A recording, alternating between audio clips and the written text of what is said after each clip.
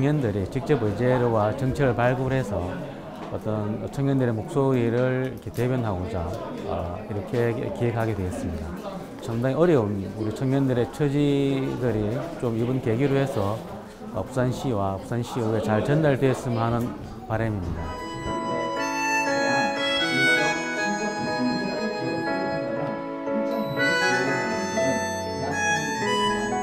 저소득층 대학생 교재 구입에 대한 지원금을 바우처나 복지카드 형태로 제공하여 직접적인 교재 구입비를 덜 수 있도록 하는 지원 사업을 추진해 주시길 바랍니다.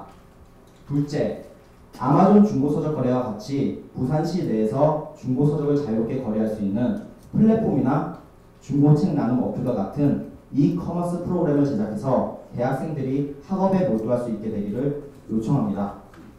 그래서 저희는 대중교통 요금 할인에 대한 조례를 제정해서 법적 제도적 보장을 강화할 수 있도록 하는 것이 다른 시의 좋은 사례가 될 것이라고 생각해서 다음과 같은 조례안을 제시합니다.